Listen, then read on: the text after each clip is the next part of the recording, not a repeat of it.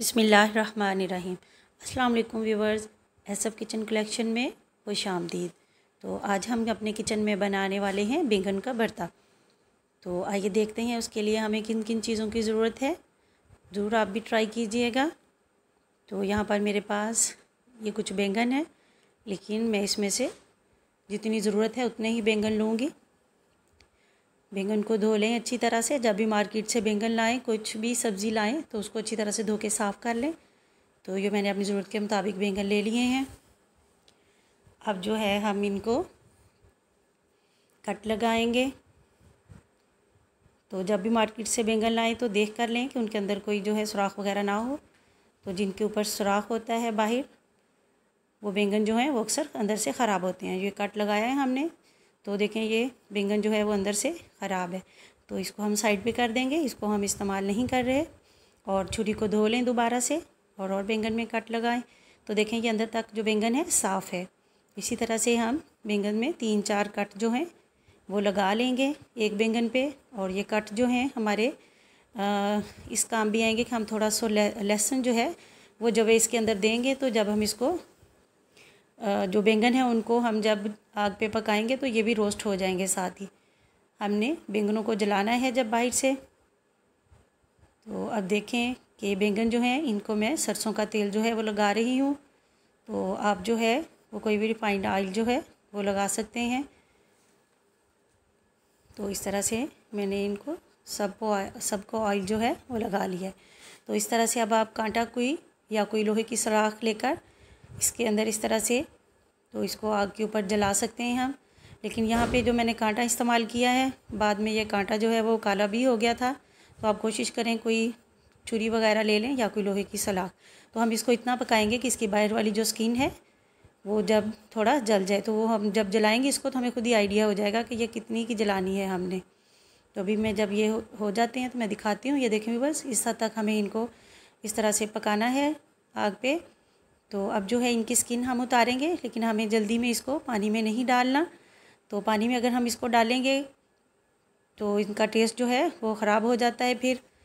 तो अब हम जो है इनको देखते हैं कि ये थोड़े कम हैं, गरम। तो अब हम इनका छिलका जो है वो उतार लेते हैं। तो इस तरह से हम इनका छिलका जो है, अब देखें ये इस काबिल है कि मैं इनको छू सकती हूँ आसानी से। हम इनका छिलका जो है सारा रिमूव कर लेंगे। तो इस तरह की हालत में ये हमें चाहिए था। अब देखिए, इसके अंदर जो लहसुन के जवे मैंने दिए थे, उनको भी हम निकाल लेंगे और उनको मोटा मोटा हम कूट लेंगे। तो यहाँ पे मैंने सारे बैंगन जो हैं वो छील लिए हैं। अब मैं उनको मैशर की मदद से मैश कर रही हूँ। तो इनको सबको हम जो है बैंगन को मैश कर लेंगे अच्छी तरह से। तो देखें भी बस बैंगन जो है हमारे मैश हो चुके हैं। अब हम एक पैन में ऑयल गर्म करेंगे। आपके पास घी है, ऑयल है, कोई भी चीज़ है, वो आप लोग ले सकते हैं। तो मैं यहाँ पे सरसों का ऑयल इस्तेमाल कर रही हूँ। क्योंकि सरसों के तेल में जब भिंडी और करेले वगैरह भी बनाएँ तो वो भी बहुत टेस्टी बनते हैं। अब हम हल्का सा ऑयल को गर्म कर लेंगे और इसके अंदर वन टेबल स्पून ज़ीरा और कुछ सब्ज़ मिर्चें जो हम डाल के इसको थोड़ा सा कड़कड़ा लेंगे और प्याज थोड़ी सी ज़्यादा इसमें जाएगी। प्याज भी मैंने दो से तीन ली हैं दरमियाने साइज़ की। वो काट के तो हमने अब डाल दिया है, उसको थोड़ा सा हम भून लेंगे इसको हल्का गुलाबी होने तक। तो जैसे प्याज थोड़ा हल्का गुलाबी होगा हम इसके अंदर दो, दरमियाने साइज़ के टमाटर जो हैं वो बारीक काट कर हम डाल देंगे।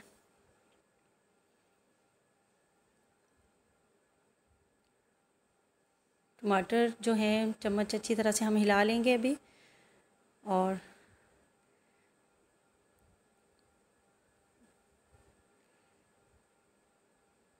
अब जो है हम इसमें अदरक और लहसुन का पेस्ट जो है वो ऐड करेंगे। वही लहसुन हमने इस्तेमाल किया जो हमने बैंगन के अंदर भरा था। उसको हमने मोटा मोटा कूट लिया है और अदरक भी साथ ही ऐड कर दिया है। एक एक जो है वो टेबल स्पून आप इसमें डाल लें अदरक और लहसुन का।